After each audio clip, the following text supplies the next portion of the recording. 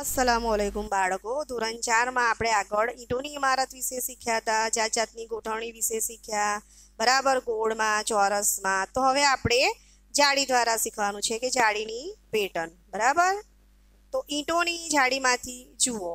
જે કડિયાએ જાગૃતિ સ્કૂલ બનાવી, તેમણે જ ઈંટોમાંથી જુદી જુદી જાળીઓની પેટર્ન દિવાલ પર બનાવી. હવે અહીંયા તમારે આપણે જાળીની પેટર્ન જોવાની છે. તો જુઓ. આ એક ચિત્ર છે જેમાં તમને અહીંયા દેખાય છે કે પાંચ કાણાવાળી એ જાડીની પેટર્ન છે. એક પછી આ બાજુ જુઓ, શક્કરપાડા જેવું દેખાય છે. એ છે આપણે પેટર્ન બે. હવે અહીંયા જુઓ, પર્વત જેવું છે. ત્રણેયમાં પર્વત જેવું છે, પણ ઈંટોની ગોઠવણી અલગ અલગ છે. જેમાં એક કાણાવાળી છે, પછી બે છે અને પછી ગોળ અને પર્વત જેવું છે.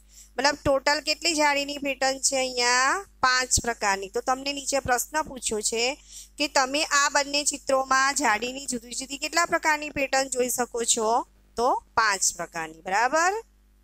હવે આ એક બીજી સુંદર જાળીનું ચિત્ર છે. જો તમને દવાખાનાના નિશાન જેવું દેખાય છે અંદર, એ લોકોએ પેટર્ન બનાવી છે. તો એ જ રીતે આપણે નીચે બનાવવાની છે. નીચે, હવે નીચે આપેલી દિવાલમાં કેટલીક ઈંટોને લાલ રંગ કરી તમારી પોતાની જાડીની પેટર્ન બનાવવાની છે. તો અહીંયા તમને જે રીતે તમને આવડે એ રીતે તમે જાડીની પેટર્ન બનાવજો. બરાબર?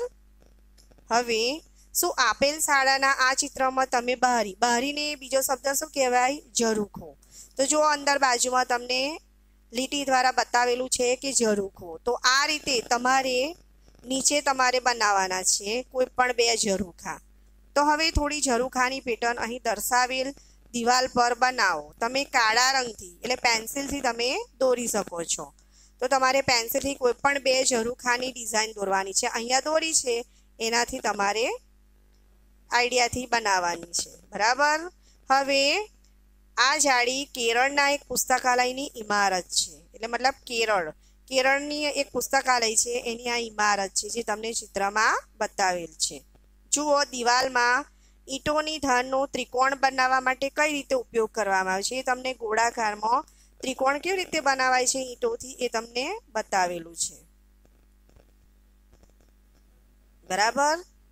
તમે હવે ઈંટો જોઈ કે જે ત્રિકોણ જેવી દેખાતી હોય આપેલ ચિત્રમાં ઝાડની ફરતે દર્શાવેલ ઈંટો જુઓ. આ જુઓ તમને ઝાડની આજુબાજુ જે દોરી છે, એ ત્રિકોણાકાર ઈંટો ગોઠવેલી છે. એ તમને બતાવ્યું છે. હવે આપણે કમાન શીખવાનું છે કે આ ચિત્રમાં તમને કમાન જોઈ શકો છો. જો તમને લીટી દ્વારા, એરો દ્વારા બતાવેલું છે, જે વર્તુળાકારમાં ઉપર જે બતાવ્યું છે ને, એ કમાન છે. અને એ જે ફૈજાબાદની શાળાનું છે. હવે તમારે તમારી શોધો. તમારી આસપાસ આવી બીજી કમાન શોધો અને તમારે દોરવાનું છે. બરાબર? જો અહીંયા પુલની પણ કમાન તમને બતાવેલી છે. શું તમે કોઈ પુલની બનાવટમાં કમાન જોઈ છે? જે તમને દેખાય છે વર્તુળમાં. એ સિવાય અન્ય કોઈ જગ્યાએ તમે કમાન જોઈ છે? તો કે હા, અમે અન્ય ઘણી બધી જગ્યાએ કમાન જોઈ છે. ગુફામાં, મહેલોમાં, વાવમાં, ટનલમાં. તો ખાસ પ્રકારની કમાન ઓરચા. ઓરચાના આ ચિત્રમાં જુઓ, કમાન કેવી રીતે બનાવવામાં આવી છે? તેનું ઘૂંઘટવાળી મહેરાબ, એટલે કે આડવાળી કમાન. એવું સરસ નામ આપવામાં આવ્યું છે. હવે જુઓ, અહીંયા તમને એ પણ ગ્રીન કલરથી બતાવ્યું છે ચિત્રની અંદર. તો શું આપેલ બારીની જાળી સુંદર નથી? હા, બહુ સુંદર છે ને. એ પાતળી ઈંટોમાંથી બનાવેલી છે. હા, પાતળી અને જૂની. શું તમે ક્યારે પાતળી ઈંટોને જોઈ છે? તો પાતળી ઈંટો તમને ક્યાં ક્યાં જોવા મળે છે? જૂની ઇમારતોમાં કિલ્લાઓમાં, મહેલોમાં. બરાબર? તો આપણે ત્યાં જોઈ શકીએ છીએ. હવે જાગૃતિ શાળાના કડિયા જમાલ અને કાલુએ જણાવ્યું કે તેમના દાદા, પરદાદા જુદા જુદા પ્રકારની ઈંટોનો ઉપયોગ કરતા તેમાંથી કેટલાક નમૂના ચિત્રમાં દર્શાવ્યા છે. તો અહીંયા તમને જે ઈંટો આપી છે, એમાં તમે એક, બે, ત્રણ, ચાર, પાંચ, છ, સાત અને આઠ. આઠ પ્રકારની ઈંટો દેખાય છે, તમે લાઇનમાં પેન્સિલથી લખી શકો છો એના નંબર. હવે તમને પૂછે છે, આમાંથી કઈ ઈંટોની ધાર વળાંકવાળી છે? તો તમને એક અને બે, પ્રથમ જે બે ઈંટો દેખાય છે ને, એક આડી અને એક ઊભી છે, એ બંનેની ધાર વળાંકવાળી છે. હવે બે, સૌથી મોટી ઈંટની કેટલી બાજુ તમને દેખાય છે? જે સૌથી મોટી ઈંટ છે ને, જે તમને નીચે છે, એ સૌથી લાંબી, એની બે જ ધાર દેખાય છે, બરાબર?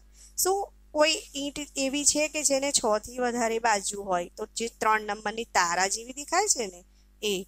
એની તમને આ જે દેખાય છે તે, એની ઈંટો છ થી વધારે બાજુ છે. હવે શોધો કે ઈંટનું માપ. શું તમે જુદા જુદા માપવાળી ઈંટો જોઈ છે?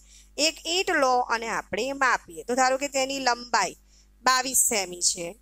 એની પહોળાઈ દસ સેમી છે. એની ઊંચાઈ સાત સેમી છે. એ આપણે આશરે લખી શકીએ છીએ અથવા તો તમે માપી શકો છો. હવે મુનિયા એક મીટર લાંબી દિવાલ બનાવી છે. તો તેણે એક હરોળમાં કેટલી ઈંટો મૂકવી જોઈએ? તો એક હરોળમાં કેટલી ઈંટો હોય? ચાર. ચાર ઈંટો મૂકીને બનાવી શકે છે. ઈંટો ગરમ અને તાજી. ગણેશ અને સાહિબા ઈંટો બનાવતી ભઠ્ઠીની નજીકમાં રહે છે. હવે જુઓ, તમને એક ચિત્ર આપ્યું છે જે ધુમાડ્યું છે. જે ગોળાકારમાં દેખાય છે ને, એ ધુમાડ્યું છે. મતલબ એનામાંથી ધુમાડો નીકળે છે. શું તમે અંદાજ લગાવી શકશો કે અહીં દર્શાવેલ ધુમાડ્યું કેટલું ઊંચું છે? અ, બ અને ક. એકમાં આશરે પાંચ મીટર, બીજામાં આશરે પંદર મીટર અને ત્રીજામાં આશરે પચાસ મીટર. તો આપણે આશરે ધુમાડ્યું અહીંયા જે દેખાય છે એ કેટલું હશે? પચાસ મીટર. તો આપણે ક ક જે છે ને એ પચાસ મીટરથી પણ વધારે હોઈ શક હોઈ શકે છે. ગણેશ અને સાહિબાને પેટર્ન સ્વરૂપે સૂકવવા મૂકેલી ઈંટોની લાંબી લાંબી હરોળ જોવી ગમે છે. તો તેમણે ઈંટો કેવી રીતે બને તે પણ જોયું જો ચિત્રમાં દેખાય છે કે ઈંટો કેવી રીતે બને છે. અને એ આપણે નીચે ચિત્ર દ્વારા સમજવાનું છે. અહીં ઈંટ બનાવવાની ભઠ્ઠીના ચાર જુદા જુદા ચિત્ર આપેલા છે. આ ચિત્રો આડા અવડા ક્રમમાં છે. ધ્યાનથી જુઓ અને એનો સાચો ક્રમ લખો. તો સૌથી પહેલાં તો આપણે ઈંટો બનાવવા માટે શું જોવે? પહેલાં પહેલાં તો માટી જોવે. તો આપણે જમીનમાંથી માટી ખોદવી પડે. બરાબર? તો જે ત્રણ નંબરનું છે એ પહેલાં આવશે પછી શું છે, એને બીબામાં, એને ગોળ ગોળ કરી અને એને બીબામાં મૂકવામાં આવે છે. જે ચાર નંબરનું છે, એ બે નંબર ઉપર આવશે, બરાબર? પછી હવે એને શું છે, બીબામાંથી કાઢીને એને જુઓ ગોઠવવામાં આવી છે. એટલે કે જે તમારે નંબર છે, બે, એ આવશે. અને છેલ્લે જે આવશે લાઇનમાં ગોઠવેલી છે જે એક નંબરની છે. આ રીતે એનો ક્રમ આવશે, બરાબર? શું તમે ઈંટો બનાવવાની ભઠ્ઠી જોઈ છે? તો કે, હા. શું તમે ભઠ્ઠીમાં કેટલી સંખ્યામાં ઈંટો મૂકેલ છે એનો અંદાજ લગાવી શકશો? તો આશરે એક લાખથી પણ વધારે હોઈ શકે છે. ભારતમાં અસંખ્ય ઈંટોની ભઠ્ઠીઓ છે જે હજારોની સંખ્યામાં. એકસો હજારથી પણ વધારે. તમે કલ્પના કરી શકો કે આ આંકડો કેટલો મોટો છે. તેને એક લાખ પણ કહેવાય. શું તમે તે લખવાનો પ્રયત્ન કરી શકો છો? તમારા મિત્રોને પૂછો. કે તેઓએ એક લાખની વાત સાંભળી છે? તમને ખબર છે, એક લાખ એટલે કેટલા, એક લાખની અંદર કેટલા મીંડા આવે? એકની પાછળ પાંચ મીંડા. નીચે શોધો, નીચે આપેલા ચિત્રો જુઓ અને અનુમાન કરો કે આ ટ્રક કેટલી ઈંટો લઈ જાય છે. અને કોઈ ટ્રકના ડ્રાઈવરને પણ પૂછીને શોધવાનો પ્રયત્ન કરો કે તેઓ એક ટ્રકમાં કેટલી ઈંટો લઈ જઈ શકે છે. બરાબર? તો ત્રીસ હજાર ત્રીસ હજાર જેટલી ઈંટો એક ટ્રકમાં આવી શકે છે. બરાબર? હવે આપણે મૌખિક દાખલો ગણવાનો છે. ભજને ઈંટો ખરીદી. ભજન ઈંટો ખરીદવા ગયો જ્યાં એક હજાર લેખે ઈંટોનો ભાવ આપેલો છે. મતલબ બધી આ એક હજાર ઈંટોનો ભાવ આપેલો છે. વિવિધ પ્રકારની ઈંટો માટે અલગ અલગ ભાવ હતા. જો તમારે એક હજાર ઈંટો જૂની જોઈતી હોય તો બારસો રૂપિયાના ભાવે હતી. પછી ઈંટાપુરની ઈંટો છે. એક હજારના અઢારસો રૂપિયાનો ભાવ છે. અને બ્રિકાબાદ, કે જે નવી ઈંટો છે, એક હજાર ઈંટોનો બે હજાર રૂપિયા ભાવ છે. હવે ભજને બ્રિકાબાદની નવી ઈંટો ખરીદવાનું નક્કી કર્યું, તો તેણે ત્રણ હજાર ઈંટો ખરીદવી હોય તો કેટલી રકમ ચૂકવી પડે?